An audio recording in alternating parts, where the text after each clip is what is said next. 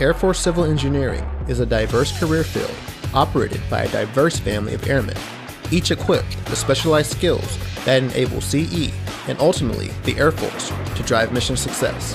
For years, airmen around the world have been tasked with the challenging prospect of learning fundamentally hands on skills but from static, paper based training packets. This method has proven to be antiquated, unengaging, difficult to reference, and fails to keep pace with airmen's needs and emerging technologies that support learning objectives.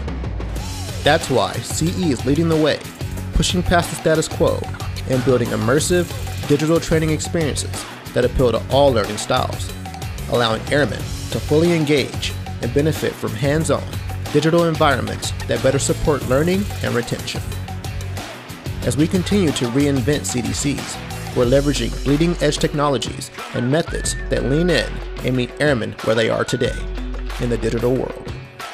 So I remember when I came in as a student having seven CDCs, I had to carry those books around everywhere I went. For this new generation of students, it's going to be really good for them to have all the job information at their fingertips, digitalized and on the computer. That's going to be tremendous. We've taken lessons learned and feedback from CE leadership, industry advisors, and 366 training squadron experts to further advance interactive trainings with a continued goal to better prepare today's CE airmen for tomorrow's fight. Putting the end user at the forefront of everything we do and backing our approach with proven neuroscience best practices, we've included new creative designs, more hands on interactions, modernized graphics, more in depth videos, and gamification. This is on pace with the most advanced training efforts in the Department of Defense. Having a video walkthrough of the processes we don't normally see in a day-to-day -day basis, it's great to have this for on-the-job training and it helps you retain the information for use later. The new generation of airmen expect the same level of digital immersion that they receive outside of training. This approach is answering that need by providing both the technology and interactivity that they expect and thrive within.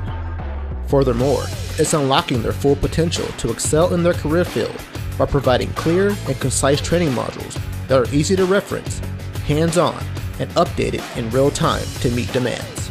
Our airmen come to the Air Force from a digital background. The modernization of our CDCs are the foundation for our airmen to build technical expertise. We're using the latest technology and teaming with industry advisors to incorporate cutting edge and immersive 3D environments into trainings. This virtual world will give airmen the opportunity to interact with objects, tools, and equipment similar to what they will use in the field.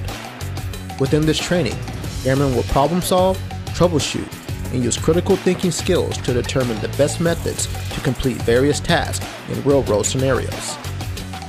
This will reduce the time airmen need to familiarize themselves with certain processes so they're ready to hit the ground running day one. You're never going to have the resources to be able to put a Moz at every installation. And so if we can supplement that with putting virtual reality training, they are able to apply that and actually have awareness of how to put the equipment to use and operate and maintain it in the real world. CE is a technical career field, so it's important we're employing the most current technology to develop our airmen. Together, we are shaping the digital future of CE training that will define our airmen engineers for generations to come. This is CE Training Modernization. Welcome to Career Development Evolved.